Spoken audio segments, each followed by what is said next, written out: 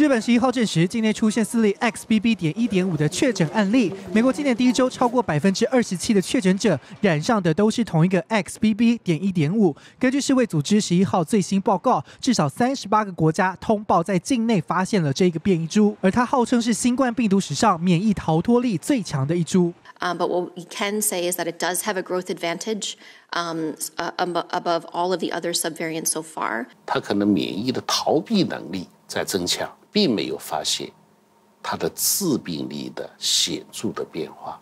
世卫组织也初步判定 XBB. 点一点五并不会让患者出现更严重的病情，不过突破性传染的能力可能更高一等。因为 XBB. 点一点五具备了 SBB 家族的免疫逃脱特性，还没发表的研究更发现，它补足了 XBB 本来不具备的细胞紧密结合能力，也就是说，它更容易粘着在人体呼吸道上，让它成为传播力最强的变异株之一。XBB. dot one five variant cases in our region are being picked up in small but growing numbers.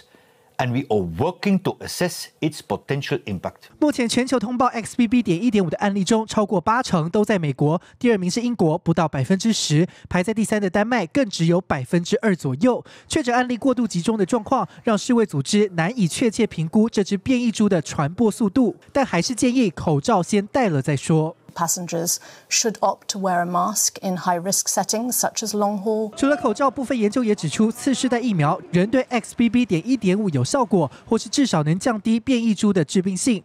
早已成为 XBB. 点一点五重灾区的美国，十一号也宣布再度延长新冠肺炎紧急状态九十天。这新闻黄胜凯、朱嘉玲报道。立刻下载金新闻 App，一手掌握新闻时事，尽善尽美，尽好新闻。